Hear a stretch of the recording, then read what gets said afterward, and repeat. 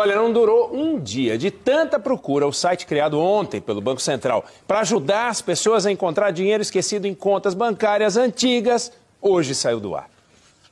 São 8 bilhões de reais que os clientes até hoje não foram resgatar. Dinheiro que ficou em contas inativas de bancos e que agora vai ser devolvido. Para quem não estava esperando, é como a alegria de achar uma nota perdida no bolso do casaco. Se for saldo de milhões, aí melhor ainda, né? Você tem, você tem essa chance? Não, tem não. 4 bilhões de reais estão à espera de 28 milhões de pessoas físicas e jurídicas nesta primeira fase. Além de quantias paradas em contas, é possível ter direito à devolução de cobranças bancárias indevidas, sobras de cooperativas de crédito e até de grupos de consórcio encerrados. Será possível pedir a devolução via Pix. E se o banco demorar ou se recusar a pagar, o Banco Central pode ser acionado. A gente acessa o site do Banco Central, digita o CPF para verificar se a gente